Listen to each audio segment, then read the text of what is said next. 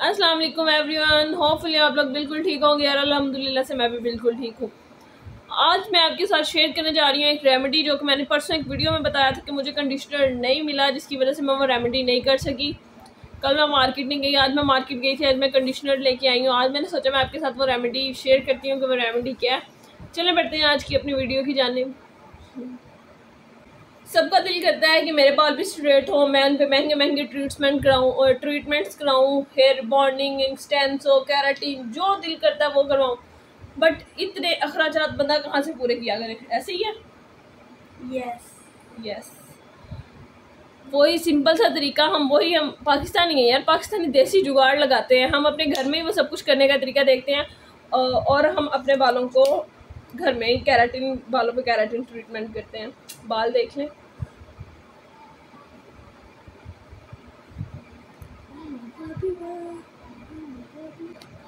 Simple सी keratin treatment हम अपने घर में करके अपने बालों को स्ट्रेट करते हैं और चेक करते हैं कि वो किस तरह से होगी, वो रिज़ल्ट वर्क करेगी कि नहीं करेगी। चले आए मिलके, सब भी करते हैं। तुमने भी करनी है? इसके बालों पे कुछ मेडिकल ट्रीटमेंट चल रहा है तो ये नहीं है इस तरह की चीज़ें अप्लाई कर सकते आज मैं आपको बताने जा रही हूँ घर पे कैराटीन करने का तरीका।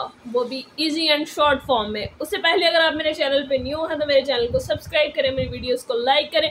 वीडियो को स्किप बिल्कुल नहीं करना, वरना आपको समझ नहीं आएगी। चले, चलते हैं हम आज के अपने टॉपिक की जाने सबसे पहले जी हम ले लेंगे यहाँ पे आठ या दस भिंडियाँ। एक नॉर्मल साइज़ की, ज़्यादा पक्की होनी नहीं होनी चाहिए, ज़्यादा कच्ची नहीं होनी चाहिए। उनके हम कर लेंगे इस तरह से छोटे छोटे पीसीस जिस तरह आपको सूटेबल लगता है, इनके पीसीस कर ले। मैंने यहाँ पे इस तरह इस तरह इनके छोटे छोटे पीसीस कर लिया मैं एक बॉयल में डाल के एक कप पानी डाल के इनको बॉयल कर लूँगी।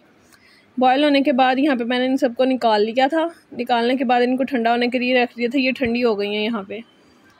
इसके बाद हम इसको मिक्सी में डालेंगे और इसको अच्छी तरीके से ग्राइंड कर लेंगे, पर ठंडा होने के बाद। तो मिक्सी में मैंने इनको डाल दिया।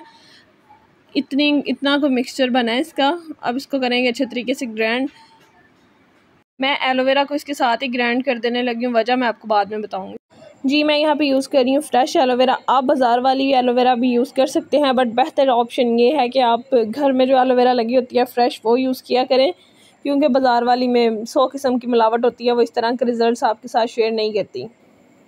अगर आप बाज़ार वाली एलोवेरा यूज़ कर रहे हैं तो आप मिक्सचर चलाने के बाद भी उसको ऐड करके मिक्स कर सकते हैं बट यहाँ पे मैं फ्रेश एलोवेरा ले रही हूँ तो मैं मिक्सर के अंदर इसको मिला के ग्राइंड करूँगी। यहाँ पे मैंने एक लीव ले लिया इसको अच्छे तरीके से वॉश करना है, इसका जो येलो लिक्विड है, वो निकल जाएगा, उसके बाद हम इसको कट करेंगे। येलो लिक्विड हमने, अपने हेयर्स पे यूज़ नहीं करना। अच्छे से वॉश करने के बाद इसको कट कर लिया था। अगर आप मार्केट वाली एलोवेरा यूज़ कर रहे हैं तो आप दो स्पून यूज़ करेंगे। अगर आप घर वाली एलोवेरा यूज़ कर रहे हैं तो आप इतनी मकदार इसकी काफ़ी है एलोवेरा की। अगर आप इससे ज़्यादा मिक्सचर बनाएँगे तो आप ज़्यादा एलोवेरा इसमें यूज़ कर लीजिएगा। उसके बाद इस मिक्सी को चला देना है। मिक्सचर को बिल्कुल अच्छे तरीके से ग्राइंड कर लेना है। उसके बाद आपने लेना है जी एक अदद कपड़ा। मलमल का ले लें, शिफोन का जो भी होता है वो लेके उससे इसको अच्छे तरीके से हमने इसका जो वो लेसला लेसला सा है ना, वो निकाल लेना है हमने। इस तरह से दबा दबा के इसको निकाल लेना है। ये देखिए, हमारा मिक्सचर अच्छे तरीके से निकल गया है। यस, ये लेसला लेसला सा मिक्सचर हमारा निकल है। हाँ जी तो इतनी मेहनत के बाद मैंने रेमेडी तैयार कर ली है। पेस्ट वगैरह मैंने इसका इस तरह से निकाल लिया है। बाकी वो थोड़ा ज़्यादा तो मैंने किसी और बॉल में निकाल दिया। अब and the most important thing जो हम इसमें ऐड करेंगे वो है ये डव का कंडीशनर ये हम इसमें टू टेबल स्पून ऐड करेंगे।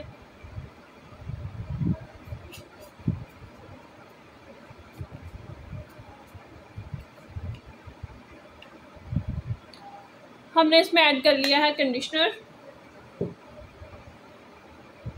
इसको अच्छे से तरीके से मिक्स कर लेंगे हम स्पून के साथ। मिक्स करने के बाद अब हम ओपन करते हैं यहाँ पे अपने बाल। बाल मैंने आपको पहले भी दिखाए थे। सबसे पहले इनको अच्छे तरीके से ब्रश कर लेंगे चुपका जो अच्छे तरीके से ब्रश करने के बाद हम इस तरह इनको दो सेक्शंस में डिवाइड कर लेंगे।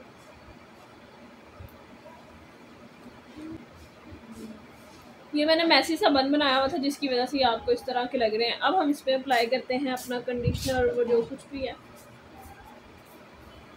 इतना कुछ सेक्शन लेंगे हम और अच्छे तरीके से हम इसमें अपना फार्मूला अप्लाई करेंगे। कंडीशनर को अच्छे तरीके से इसमें ऐड करके मिक्स कर लिया था ये कुछ इसको अपने बालों पे करते हैं आप अप्लाई इतना सा सेक्शन मैंने निकाल लिया बालों का। मेरे लिए भी रखना। मेरे लिए भी मैंने ट्यूशन से आके लगाना है तुमसे। हमारे अकेडमी से आके लगाना है। तुमने तो कहाँ से आठ बजे जाना है? मैंने फिर भी पाँच छः बजे तक आ जाना है?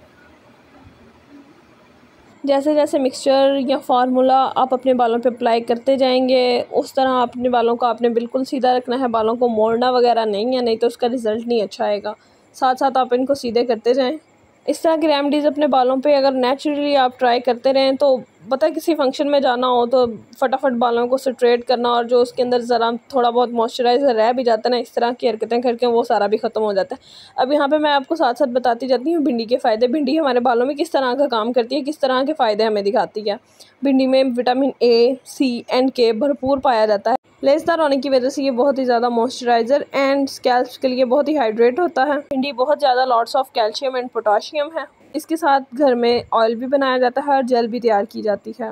कुछ लोगों को पता होगा। कभी ऑयल और इसकी जेल भी बना के देखेंगे ये किस तरह से तैयार की जाती है। एक साइड पे ख़त्म हो गया है हमारा सेक्शन अब दूसरे साइड वाले सेक्शन पे हम एज इट इज़ ही अप्लाई करेंगे। बालों को सीधा रखते जाना है और अप्लाई करते जाना है। मैंने इस फार्मूले में डव का कंडीशनर यूज़ किया था, जिसकी कीमत लगभग फ़ोर फिफ्टी थी।